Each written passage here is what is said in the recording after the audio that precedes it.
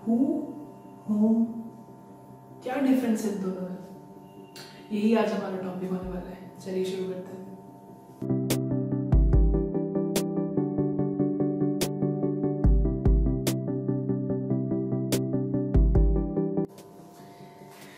तो जैसा कि आपको पता है आज हमारा टॉपिक है हु वर्सेस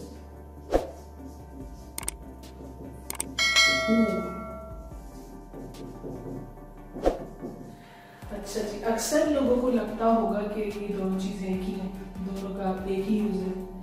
आप सही भी हैं, लेकिन कुछ चीज़ें आज हम लोग डिस्कस करेंगे जिसमें आपकी कंफ्यूजन दूर हो जाएगी कि हु और हु में डिफरेंस क्या होता है राइट हु और हु के बारे में बात करें, उससे पहले आपको ये तीन चीज़ें पता होनी चाहिए। Number one subject number two object and number three verb अब जिन लोगों को हु और हु का डिफरेंस पता है, वो कहेंगे वर्ब वर्क करने का कोई काम ही नहीं है, लेकिन वर्क का ये हाँ एक बहुत इंपॉर्टेंट काम है। तो सब्जेक्ट क्या होता है? सब्जेक्ट होता है किसी भी एक्शन को करने वाला मतलब टूअर और ऑब्जेक्ट होता है उस काम को रिसीव करने वाला। और वर्ब होता है वो एक्शन अब वर्ब का यहाँ क्या काम है? जब तक आपको वर्ब नहीं पता होगा आप डिसाइड नहीं करते कि, नहीं कर सकते कि वो वर्ड जो है, वो एक सब्जेक्ट है या फिर ऑब्जेक्ट फॉर एग्ज़ाम्पल मैंने कहा कि मैं पढ़ाता हूँ। आई टीच मैं इंग्लिश पढ़ाता हूँ आई टीच इंग्लिश अब यहाँ पर वर्ड क्या है? सबसे पहली चीज़ जो हमें आइडेंटिफाई करनी किसी भी सेंटेंस में वो है वर्ड अब वर्ड आइडेंटिफाई नहीं करेंगे तो आपको सब्जेक्ट और ऑब्जेक्ट का पता नहीं चलेगा. तो टीच यहाँ पर है वर्ड अब ये परफॉर्म कौन कर रहा है एक्शन आई तो आई हो गया सब्जेक्ट और ये रिसीव कौन कर रहा है? तो इंग्लिश इंग्लिश जो है वो हमारा ऑब्जेक्ट है राइट अब आते हैं अपने टॉपिक की तरफ़. जब भी हम इन्वेस्टिगेट करते हैं सॉरी इन्वेस्टिगेट करते हैं सब्जेक्ट तो हम लोग यूज़ करते हैं हु और जब हम इन्वेस्टिगेट करते हैं ऑब्जेक्ट तो हम यूज़ करते हैं हु या हु दोनों। इसका क्या मतलब हुआ कि who is equal to who but who is not equal to who अब ये चीज़ इस बारे में अभी हम लोग बात करने लगे कि कैसे हु जो है वो हूँ आप उसकी जगह, हु की जगह हु जो है वो हूँ के बराबर है, लेकिन हूँ जो है वो हु के बराबर नहीं है राइट अच्छा एक चीज़ आपको बता दूँ कि बहुत सारे लोगों से आप ये सुनेंगे कि हूँ जो एक वर्ड है, वो आने वाले कुछ टाइम में मौजूद नहीं होगा, ये बिल्कुल ट्रू हो सकता है राइट सो फॉर एग्ज़ाम्पल अब मैंने ये जो बात कही, इसके बारे में कुछ सेंटेंस बनाते हैं। फॉर एग्ज़ाम्पल अगर मैं पूछूँ, काम करने वाले का, जैसे कि who is driving the car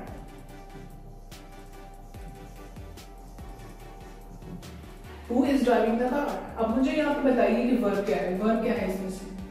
driving verb है हमारा। अभी कर कौन रहा है? यही हमें नहीं पता। इसका मतलब है, क्या नहीं पता? डूअर नहीं पता। तो इसका मतलब है, हमने यहाँ पर इसी वजह से यूज़ किया हु राइट लेकिन किसी सेंटेंस में अगर मैं पूछूँ, यहाँ आपने बताना है कि हु सही है या हूँ सही है।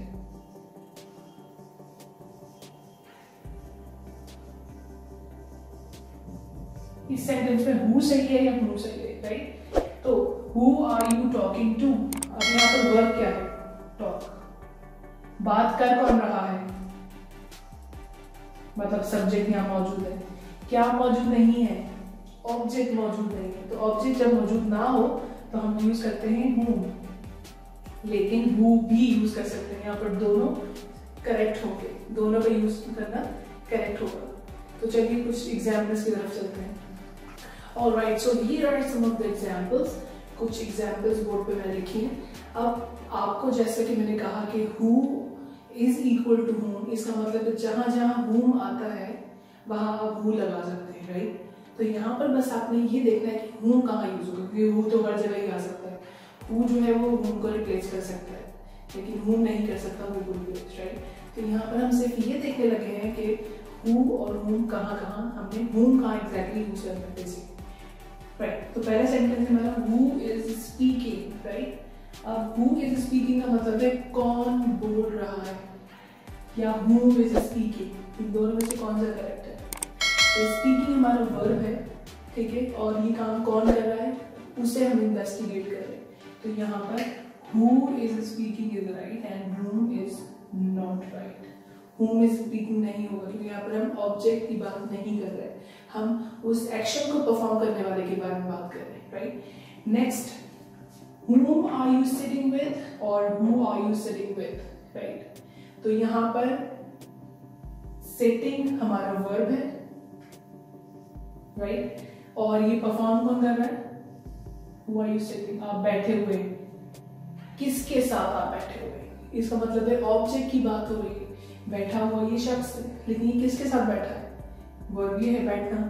तो हम यहाँ पर किस चीज़ का पूछ रहे हैं? ऑब्जेक्ट का पूछ रहे हैं राइट तो यहाँ पर whom are you sitting with is correct. लेकिन who are you sitting with भी करेक्ट है right as I told you दोबारा बताता हूँ whom और who who जो है वो whom को हमेशा रिप्लेस कर सकता है right next whom repairs a car या who repairs a car? अब यहाँ पर वर्ब है रिपेयर गाड़ी कौन रिपेयर करता है? अब एक्शन करने वाले के बारे में पूछा गया तो यहाँ पर who is correct, whom is not correct? Right, let's move on. Who is he waiting for?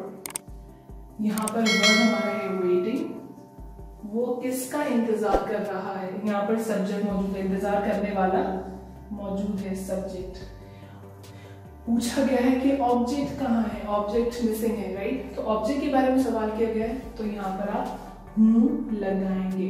Who is he waiting for या who is he waiting for दोनों सही है। Next who has she invited invite verb है। किसने किया है? She ने किया है। ये हो गया सब्जेक्ट पूछा गया है ऑब्जेक्ट कहाँ है। ऑब्जेक्ट के बारे में क्वेश्चन हुआ, इसका मतलब हमें यूज़ करना है whom और who भी यूज़ हो सकता है। Who has she invited या whom has she invited right दोनों करेक्ट है। Who teaches you verb? ठीक है। और यहाँ पर किसके बारे में पूछा गया है? यहाँ पूछा गया है ऑब्जेक्ट के बारे सॉरी सब्जेक्ट के बारे में पूछा गया कि आपको पढ़ाता कौन है? यहाँ पर सब्जेक्ट के बारे में पूछा गया है कि सब्जेक्ट क्या है। तो यहाँ पर who teaches you is correct and whom teaches you is not correct. Alright, so these are a few examples. I hope आपको इन एग्ज़ाम्स के ज़रिए इस टॉपिक को समझने में आसानी होगी तो this is it for today अगर आपको वीडियो पसंद आई हो तो don't forget to subscribe to the channel give our video a big thumbs up and share with your friends thank you